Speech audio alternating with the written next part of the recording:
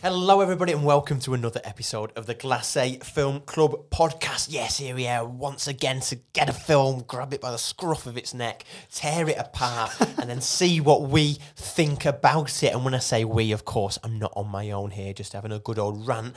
I'm joined by my good friend, the man who's got views for days on films. Of course, he has, and we all want to hear them. It is Callum. How are you doing, Callum? Very well. I've got, I've got coffee. Yes. We're live again.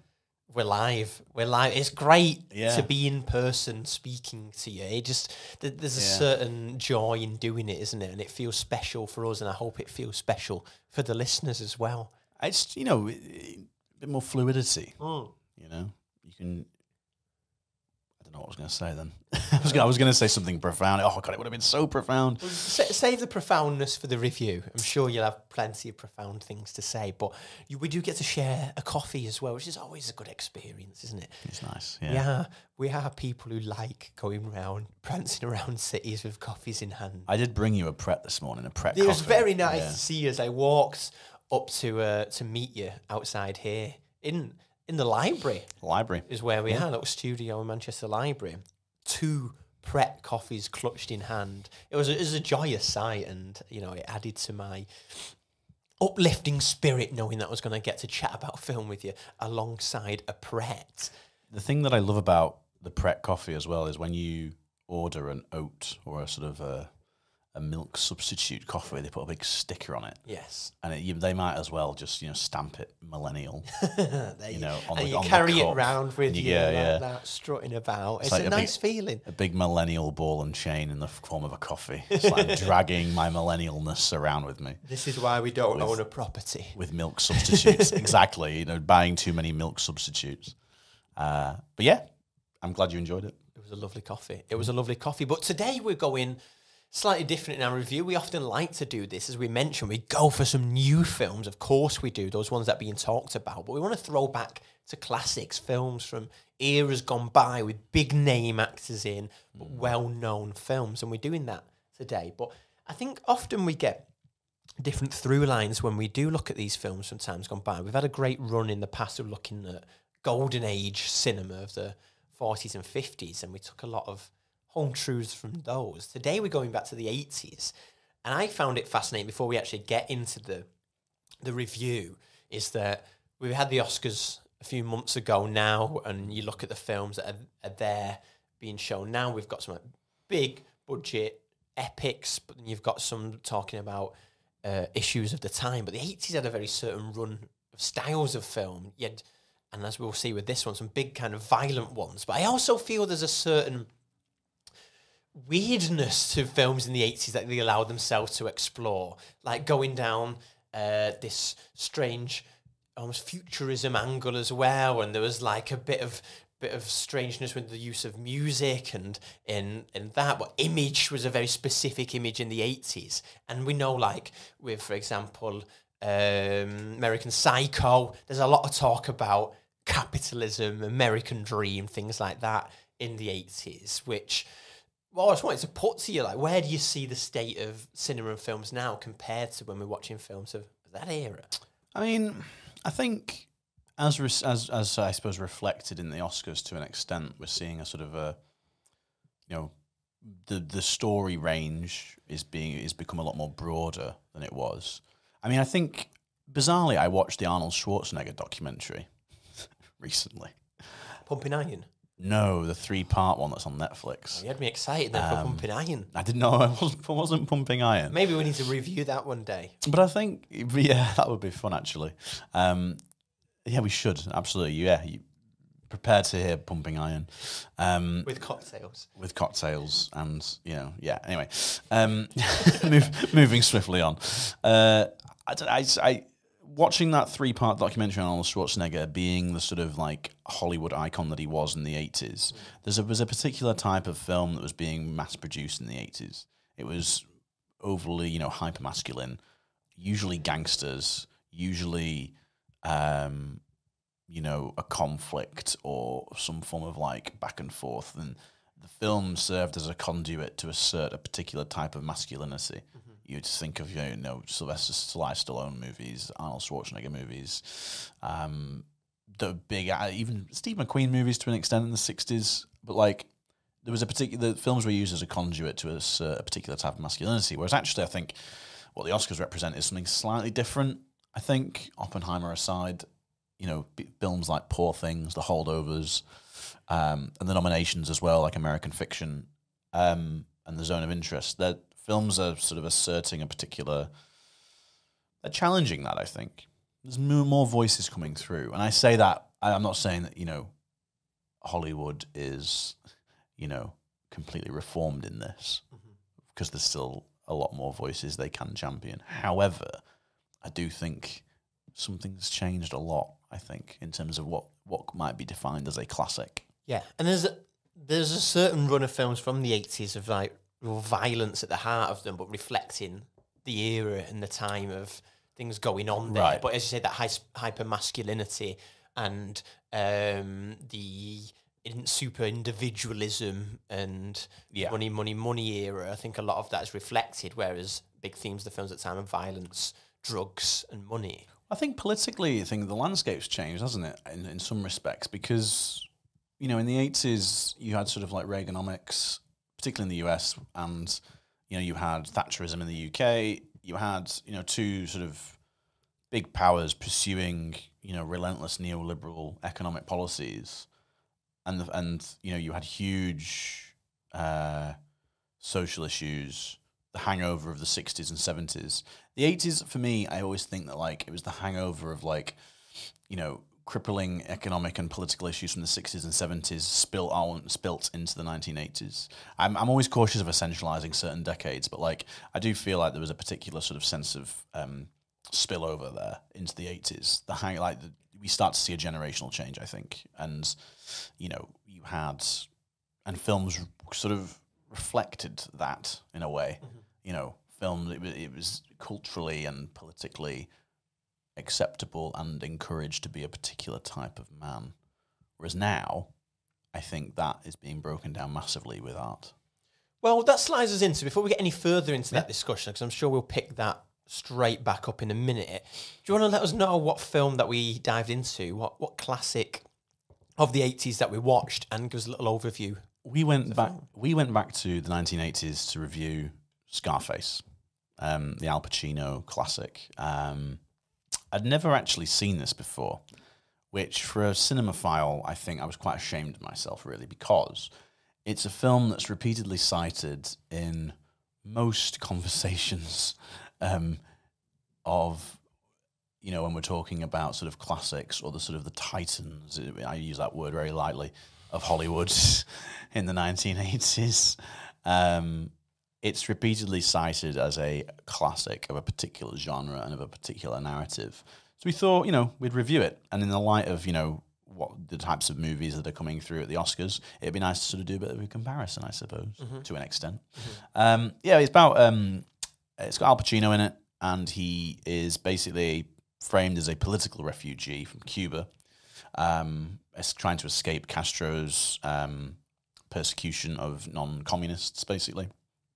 And he comes over to Miami, and part of that sort of generation of Cuban exiles in the 1970s and 1980s um, who came over to the US to try and escape and as political refugees in search of a green card to try and escape Castro's persecutions, basically. So, quite interesting and one could argue topical, given refugee crises that are happening and political refugee crises that are happening across Europe at this time.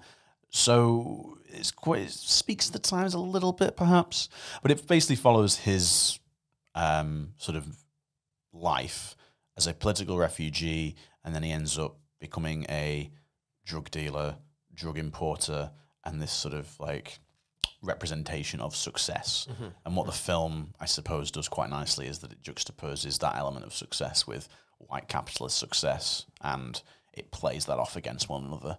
Um, and I think using Cuba as, a, as an example to sort of illustrate that is quite interesting because um, the US had, well, it had basically liberated Cuba from the Spanish Empire in 1889. It had then um, installed pro-American governments in Cuba. So Cuba had always been a satellite state, I suppose, of the US since the early, since the late 19th century. It then sort of like installed American businesses and American banks. It became basically a cash cow for the US until the Cuban Revolution in 59 and then it basically became its own independent state under Castro. So I think it's quite an interesting um, way to illustrate how America used American businessmen exploited Cuban industry and Cuban sugar, and they called themselves successful. But then, when Cuban exiles are exploiting American American interest in drugs or American sort of loopholes within the legal system, he's a criminal. When actually, America was doing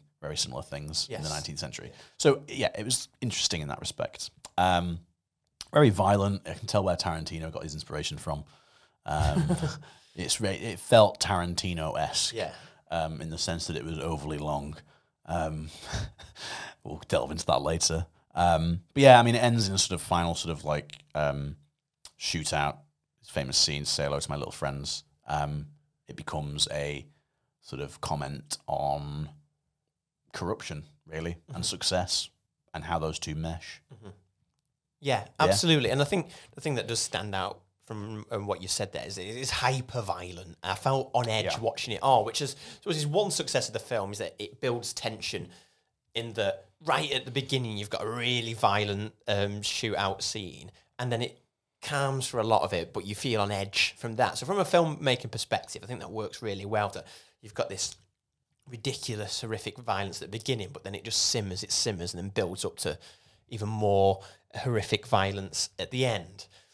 But that's when we're touching upon what we we're saying about films of that era, and a lot of epics and mm. classics now we look at from that era are violent, often gang mafia films, and now we look at our era now. I mean, it's very hard to say from epics of the modern day because a lot of them are superhero films. Like, Yeah, that is true, whereas yeah. epics from them, you have a lot of these like gangster films and things like that. But the thing that struck me is that I do think, to an extent, this film is a little bit of a critique of American society. There is a bit of self awareness to it, especially the scene where he's in the restaurant. He's really drunk, and then he has a big argument with his wife.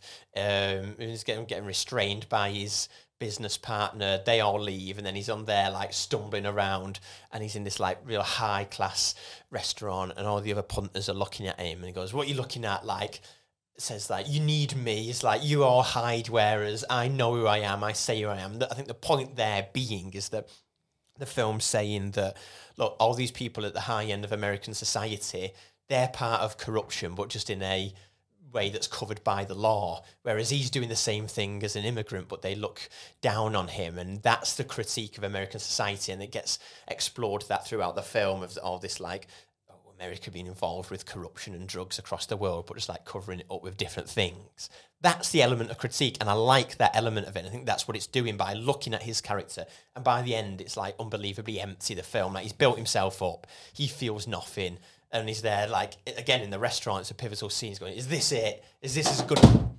Is this as good as it gets? That's the on-air sign. Just, just gone. Now you can tell we worked in an actual studio. um, and like he feels nothing from his success and he said it's all built on emptiness like there's nothing real there. So th- there's an element of critique there. But it makes me think how much does the, is the film a, a self-aware critique or how much does that then balance the romanticism of the violence the drugs the money? Because it strikes me that a lot of these films do gather their classic um, tag or status over the years because people enjoy them because it is like, whoa, yeah, like look at this like shoot 'em up film and all of that. And even though there's a critical element to it, that's overshadowed by that, as you say, Tarantino esque lust for violence. And I think that does overshadow it with this because my interpretation from knowing nothing about the film previously and how I think it's been portrayed to me over the years is that that's why it's great because people love how the violence is portrayed and that. Whereas actually, it is a bit of a critique of that, but I think it steers way more into the romanticism of that era and Miami and the violence and, and the way they dressed and stuff like that. So that was the slightly deflating bit of it. And I think a lot of the stuff that we look at films in the 80s, going back to American Psycho, it's absolutely a critique of that society, but it's a ultra violent um, film, which in many ways romanticizes that, and people like it because of that. It's it comes down to that thing with a lot of pieces of art is like the balance between getting an audience in who actually understand the critique of it, or the other part of the audience who are actually there because they like the thing that's being shown and don't understand the critique of it. And I think this steers too far into the romanticism. I just feel a bit empty at the end of it. And then that's the point. Mm. That's the mm. point. where it was just like a bit too much in my face on that bit. And it's like, oh, like I hated the thought of people liking it because of that. I mean, I think, I think, yeah, no, I agree. Also, I don't know if I, I don't know if my problem is that is with the film necessarily, or whether it's people that have routinely said to me, "You need to watch this." Right. Yeah. You know what I mean? It's like it's continually, you know, chanted at me by loads of people just that I know, but also loads of people that I just, you know, generally when we've had film conversations, it's like, oh, you need to watch Scarface. I don't need to watch anything. I, I don't need to watch anything you tell me to watch. Um, but, but, but like, I don't know. That's it. Send your recommendations in, everyone, guys. If you get anything you think that we should watch, we're always open to listen. sounded to that. that sounded so standoffish. I didn't mean I didn't mean it in that way. Um, but like I just I don't know. It's it's continually cited as being an epic or a classic, and I just thought I was just a bit let down. I was expecting something a little bit more profound. I suppose. I mean, I guess it's that it's part of that triumvirate of movies that I'm very skeptical skeptical of anyway. I don't particularly like gangster movies, generally speaking, apart from Goodfellas and Casino. Um, they're good films in their own right, but like sort of it was like part of the sort of the, the De Niro, Scorsese, Pacino triumvirate. That sort of like you know the uh, Tarantino as well to an extent, but like th- those group that group of um, sort of directors and artists and actors, all brilliant in their own context and in their own right. But like I find those movies incredibly um, sort of there's a lot of hubris at play a lot of arrogance as well. Similar to Nolan movies in the sense that, like, you know, everything that's filmed must be committed to screen because I am so, you know, everything that I film is important and necessary for my idea and for my narrative. When actually, half of them just need much better editors. Um, and this is the issue, I think, with lots of these movies is that, like, they are overly long and bloated. I felt Scarface was bloated um, because it was just essentially three hours of conflict Yeah. it was back and forth between it was usually Pacino and then another member of a mafia or another member of a drug cartel or another member or another criminal and it was a power play either between other men or a power play between him getting a woman basically Yeah, because it very much steers into him and his persona and Um, yeah. his performance. It's like Right. a lot of it is about that. And when you think of the general conception of it, again, based on me not having watched it before, I always think like, oh, it's about him. Like the film focuses on him, his role, the voice he puts on in it. Well, I mean, you know, his performance is really good. I mean, Yeah. he, he's like a he's like a little viper. I mean, the, that's, the worst way I f- thought of it when I saw him on screen. Is like the eyes, the piercing glare. I think is actually he, he- he's good. That's really really good. The, the, the glare that he gets is like he sends a shiver. It's scary. Definitely. Yeah, and, like, definitely. it works. yeah. It absolutely works. It does work, but for me, I just found it quite repetitive in the sense that like it starts off quite optimistic. I think I, you know it talks about the sort of Cuban re- uh, political exiles, and they're in a, a refugee camp under a freeway in Miami, and there's a sort of okay, this could be this is going to be quite interesting. But then after that, it's just a lot of expletives. You don't talk to me like that. I'm this. I'm that. Oh, don't talk to me like that. Oh, do you, and then it's like it's just that back and forth, and it inevitably ends up in a horrific torture scene or a or a death. Yeah, Um, it feels like are you saying those background elements of it, and what I was saying also about it having criticism of the era and the hypermasculinity, the violence, everything related to that is that it starts off with a good bedrock of a script from premise Yeah. and plot, but it's almost as though right once we're actually filming this, what can we do over the top to like really make it that? And that's the frustration I'd say with that style of film from that era, from a perspective, is that there is something in there once you dig, Yeah. and you're like, yes, this is a mirror up to the era, but I think it goes too far towards fetishizing it or romanticizing it rather than it being critical. So even though there's that criticality in there of the era, it actually then steers into that, and that's why it becomes this cinematic one that you've got to see because people like it for that, not necessarily what it's saying about the era. I think, yeah, yeah, absolutely. But I think that that has been, that has come with time, though, in the sense that I imagine when it came out, I don't doubt that drug cartels in the seventies and eighties were that were that were, were, were violent like that. Yeah. I don't doubt that for a second. They probably they absolutely were. Um, but I think when it came out, I do wonder whether people would have sort of thought it was a fetishization. But, but I also think there's when it because we've got the benefit of, I suppose, hindsight and seeing all the other movies that came after it that are filmed in the same vein. Um, I mean, I was talking to my brother about this actually yesterday, and um, he was saying that you know The Godfather did it, and then there's just been so many iterations of that. And I've never seen. I've seen Godfather. I've seen The Godfather Part Two, but again, it's an, it's another one of those that another movie. I'm just like. The Godfather. I don't know. It's just like I, it's just a lot of bald white men screaming at me, saying you should watch The Godfather. You know what I mean? It's just like Yeah. what- whatever. Like, Yeah. um, but like Scarface falls into that category for me. I mean, one thing that I would say actually is I quite liked the way it was filmed. I liked the shots, sort of sweeping shots. I mean, that scene when they're in the hotel room and his friend is being cut up with a chainsaw. Yeah. Um, the camera backs out and then sort of sweeps over um, the the main the strip in Miami, um, and the sort of the, the the sort of the blue and the pink neon. It's a quite a nice. It's, it's well shot. Absolutely. You know, when you said that, that's the first thing that came to my mind as well. Yeah. Is that, and I think again that is a bit more of a stylistic trope of cinema of that time of something that I like Yeah. is a little bit more experimental and slightly. Um, I can't think quite the right one, but a little bit of the strangeness to stuff of that era where it allow these more elongated shots, a bit more the music being a little bit funkier and things like that. Is that Yeah. that is when you say cinematic or something of that era. thing? oh yeah, when you see films like that, I look at them through a modern lens of violent films of the modern era. They don't necessarily push that weird kind of experimentalness, and that was nice from a visual perspective. I think it does get it uh, bob on in that sense. For sure, and that was one thing that I felt that was quite good about it. I quite liked the sort of the, the synth and the sort of the, the funky soundtrack juxtaposed with the piercing stare of Pacino and the sort of the way it's filmed. I thought that was the main strength of the film, to be honest. Um, but for me, by the end, I was just kind of like, it, it's fitting that the thing ends in this massive shootout. Because it's like it's almost like that's that's that's the crescendo, that's the sort of the splurge. Yeah. it's all been building up to this, you know, you know, big moment where people are blown up, um, and it's just a bit. I just, I just, I just felt,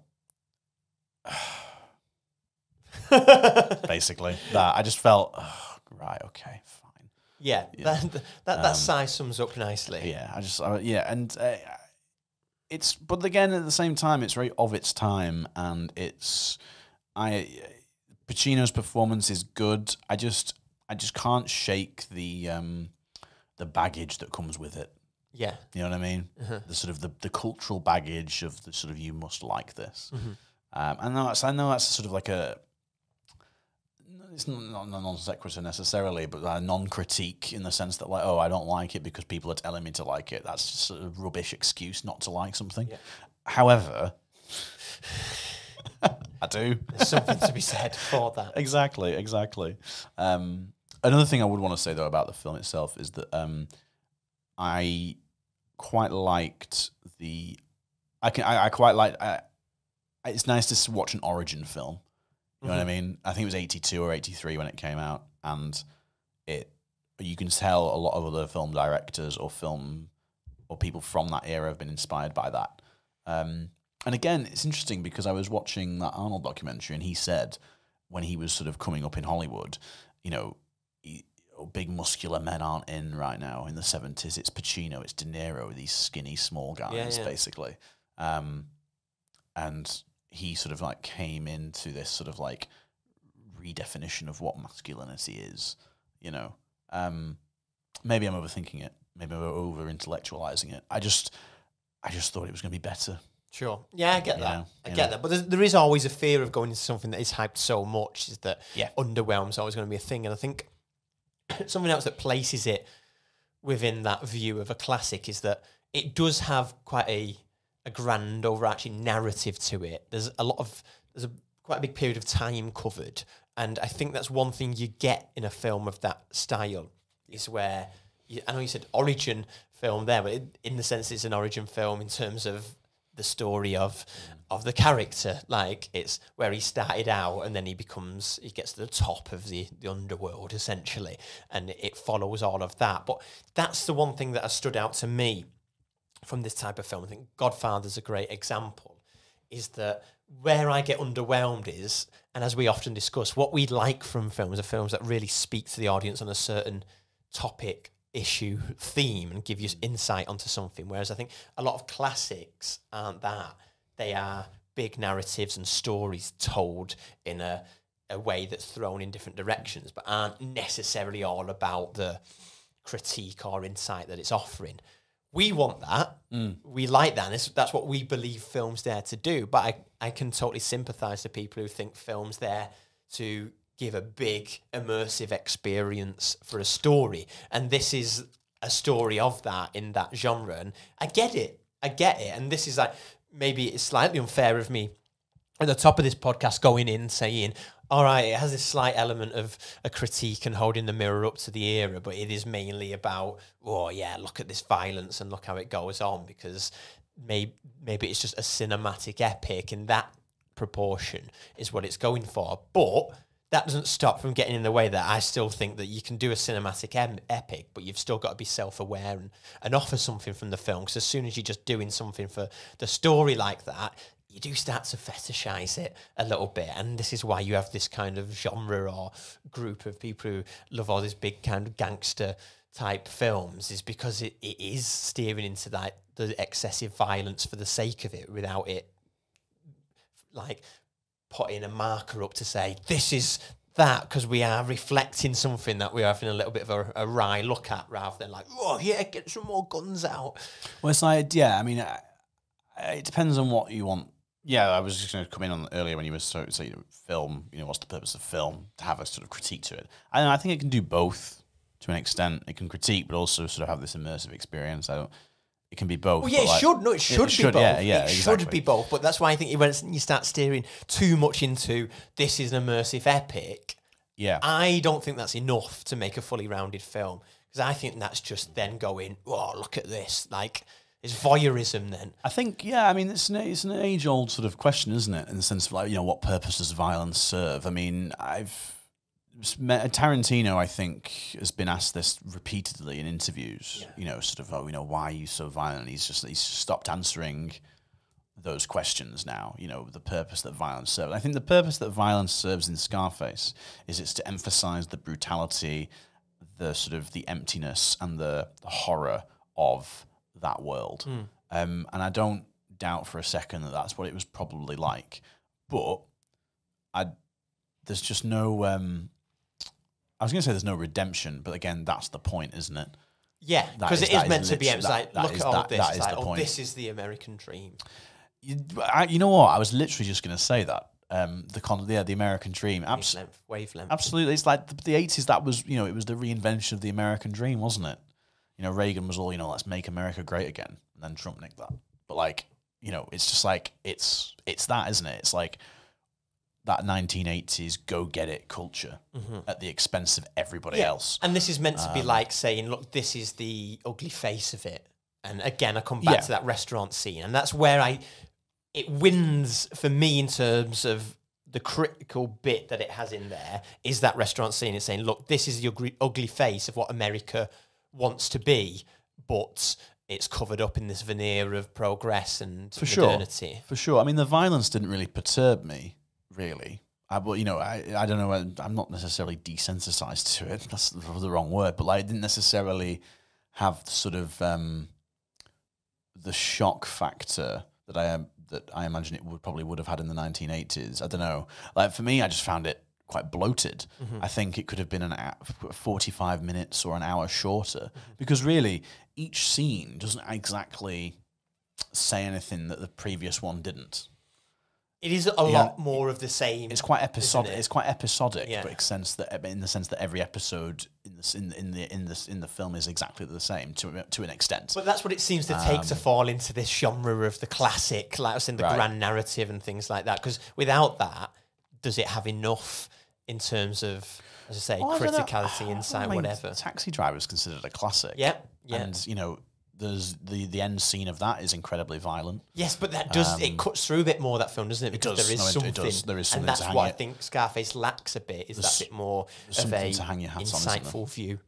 Yeah. Let's Yeah. wrap this up, Callum. I think Let's, we've gone yeah, through that yeah, nice, and always good to look at a classic. It's good to go back It is. because it is. Yeah, yeah. yes, we want to keep our finger on the pulse, but remember where film came from. so I always enjoy looking back on that. But yeah, just to summarize, as much as I enjoyed watching something from a, a different era, I don't think it did enough in terms of um, holding that mirror up to the era that it it t- did through a Tolkien element because I think there was definitely something in there, and as you said as well, there was some historic intrigue in there. But it did that, but then also almost backed away from it in favor of the violence and um, romanticizing something in that era of the eighties of hyper masculinity, money, and stuff like that. In in the sense that it was meant to be criticized, but I think for it to become the epic, it has been built up as like that is the winner for it. Yeah, good, built the tension up nicely. Wasn't really for me, and I don't think it was as captivating as I was led to believe, but solid enough film, six out of ten. Callum, what are your thoughts? Yeah, I mean, I thought it was. Yeah, it's it's it's not a bad film in in the set in that stretch in that, in that at all. I think the strongest element for me was the cinematography and Pacino's performance. Those are the two strongest for me. Mm-hmm. Um, I found it a little bit too episodic. I found it really sort of like just repetitive, quite bloated um, in lots of ways. Uh, I'm struggling between five or six out of ten. I wouldn't watch it again, and I think there's better movies to watch that achieve the same message but better. I'm going to push you for a number. Six. It's gone six out of ten. Yeah. Thank you very much, Callum. Well, there we go. There's another episode. There it is. There we go. We went for a classic. We dived in, and I thoroughly enjoyed these little side sweeps of the podcast where we go back and have a look at a few more epics. And once again, Callum, thoroughly enjoyable to review in person, Absolutely. share this experience over a coffee with you, with a camera in the room. You can watch some clips of this. Check us out, and that slides us nicely in. If you want a little bit more insight into the podcast, our Instagram page at the Glacé Film Club. Let us know what you think of our reviews or the films that we've reviewed and maybe some suggestions of what you'd like us to chat about in the future. We've also got the whole back catalogue on the different streaming platforms, loads of reviews and conversation episodes with different people from the world of TV, film, video, and other creative areas. But that was that. Until next time, that was another episode of the Glacé Film Club podcast. We'll see you all later.